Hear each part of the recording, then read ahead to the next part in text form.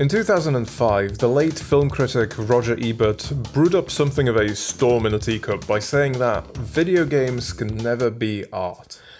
That's an interesting statement, isn't it? I mean, sure, you can easily dismiss that as an old man not liking a new thing, but having actually read what he had to say, it's pretty clear that for him, the whole thing wasn't much more than an intellectual exercise, a chance to play around with theory and definitions. Ebert's arguments operated on some very strange logic, but they were still fun to engage with. You see, Ebert's mistake was mostly semantic. He still thought of games in terms of what they were in their infancy. Electronic board games. He'd look at something like Metal Gear Solid 3 and all he'd see is snakes and ladders.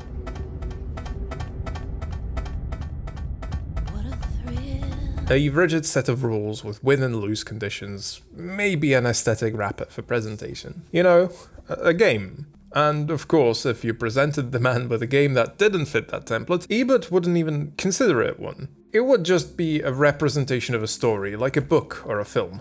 To him, art is something you experience, not something you can win.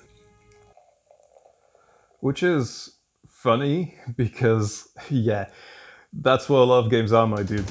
It's an easy mistake to make because the way we use the term now is so far removed from its original meaning that it has become a shorthand. A game isn't necessarily a game, it is a representation of a story. Si ça n'est pas un jeu.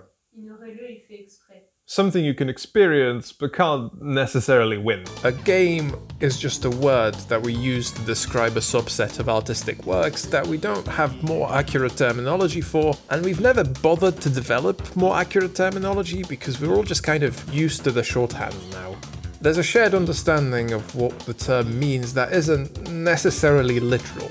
And I mean, even then, Ebert was working with a needlessly reductive and exclusionary definition of art, but you know what? The man was almost 70, he'd spent his entire life championing his favourite art form, I think he's allowed to not give too much of a shit about yours. The whole thing was so strangely blown out of proportion, which is where his response to the response comes in. In the later article titled, OK Kids Play on My Lawn, Old Man Ebert denied getting harassed over the statement like how you might expect the usual suspects would react, but he did express some frustration with the amount of well-meaning chumps sending him screenshots from Shadow of the Colossus to try to convince him of the artistic merit of the medium, which I find very funny. But there's a particular line in Ebert's response that stood out to me. If I didn't admire a game, I would be told I played the wrong one. That's a strange one, isn't it? The kind of people invested enough in the idea that games are art to try to convince Ebert of their value would be willing to revoke the status of being art from any game that he wasn't sufficiently impressed by.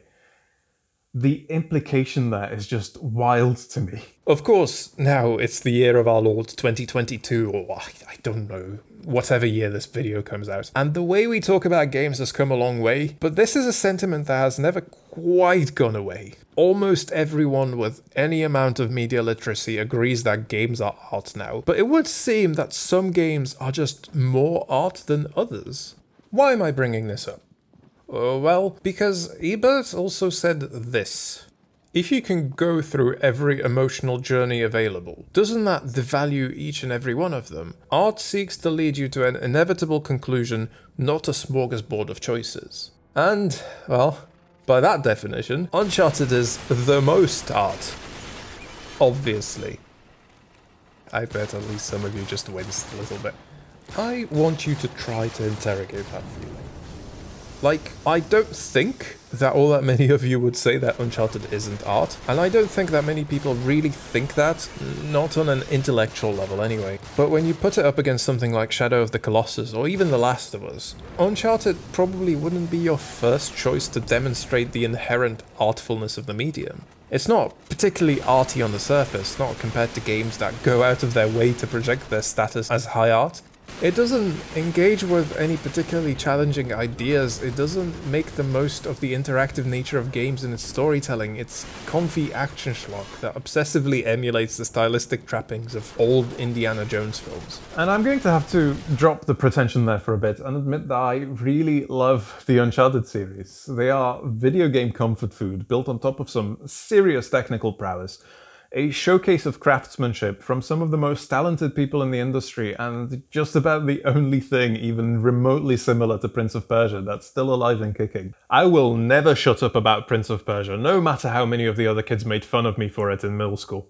But the lowbrow nature of it, the rigid video gaminess, and yeah, the mainstream appeal make it into something of a guilty pleasure. Something that feels inherently less worthy of my time, less worthy of being talked about, less worthy of having a whole series of videos dedicated to it. It's just a fun video game. Too much of a generic cover shooter, too much shallow eye candy, too hard and or too easy, too ludonarratively dissonant, too overrated to be real art. Now, I don't want to get into arguing the definition of art. I'm not Roger Ebert, but I do think there are a few characteristics that all art shares. I think that art is at least on some level capable of provoking an emotional reaction, or at the very least of inspiring conversation. And if you have ever dipped a toe in the rancid waters of video game discourse, the thing that you have probably realized right before your foot fell off is that the conversations inspired by games are both highly emotional and never ending.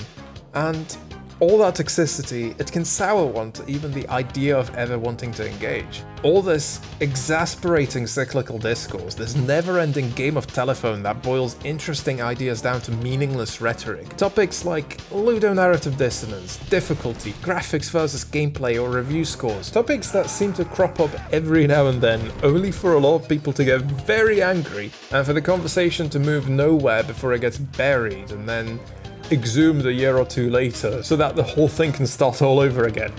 I think all of this can distract some of us from the value these conversations can still have, and indeed the value of the games all this garbage gets whipped up around in the first place. Even if it sometimes seems like some of those games just aren't worth having to trudge through all that nonsense. Normally, uh, these videos should end on some kind of a larger point, but I don't really uh, have one. The reasons I wanted to make her a bit more personal and have more to do with my own relationship to the series. I wanted to interrogate my shameless appreciation for them and to figure out what makes it so easy for me to overlook some of the very justified criticisms. Uh, these games, they're not exactly museum pieces. They wouldn't be my first choice for trying to convince a skeptic of the inherent value of games as an art form. But in spite of their numerous flaws, I still feel that they're worth my time.